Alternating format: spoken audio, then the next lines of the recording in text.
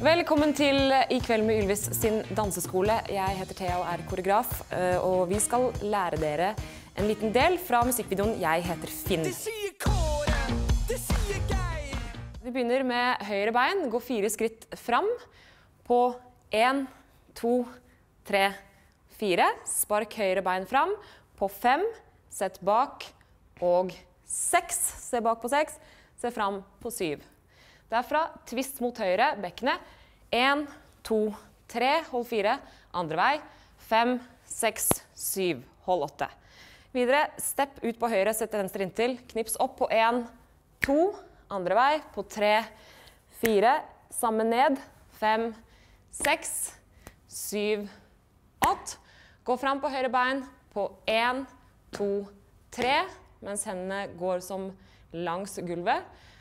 Fem, seks, se til siden på syv, se fram på åtte. Bare rygge litt ned.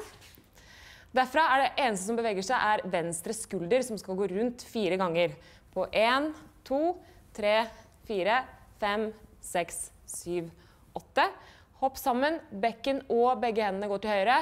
På én, sving andre veien. På to, tre, fire, fem, seks. Hopp ut. Hendene i lomma.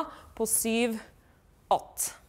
Derfra len til høyre. Overkroppen er helt stiv.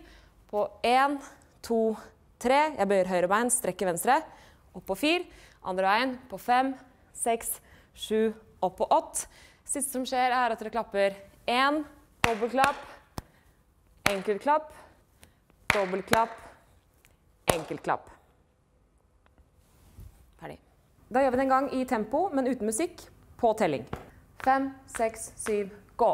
Én, to, tre, fire. Spark. Fem, seks, syv. Twist. Én, to, tre. Hold fire. Fem, seks, syv. Gå. Knips. Knips. Ned. Fem, seks, sju. Fram. Én, to, tre. Én, to, se fram. Skulder. To, tre, fire, fem, seks, syv, åtte. Sving. Én, to, tre, fire, fem, seks, syv, åtte. Len. To, tre, fire, fem, seks, sju. Klapp. Én.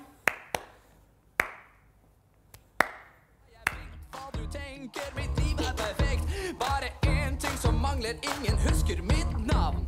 Navn, Fem, seks, syv, Det åtte. sier Kåre, det sier Geir.